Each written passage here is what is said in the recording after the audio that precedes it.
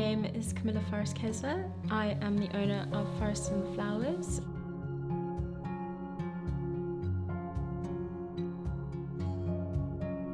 I am self-taught. I did work in a flower shop in Hanoi in Vietnam where I got a lot of the technical rules.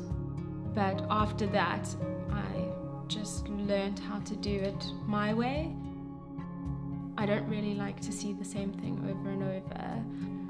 I try and challenge myself where I'll, find something that's like unusual.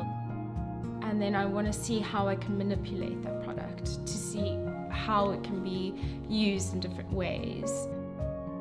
For an installation for a house, I would choose dried floral because it's longer lasting.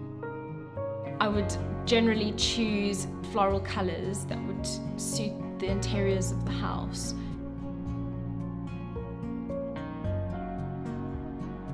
I think flowers make people so happy and there's nothing more rewarding than seeing people around you happy by the work that you have done.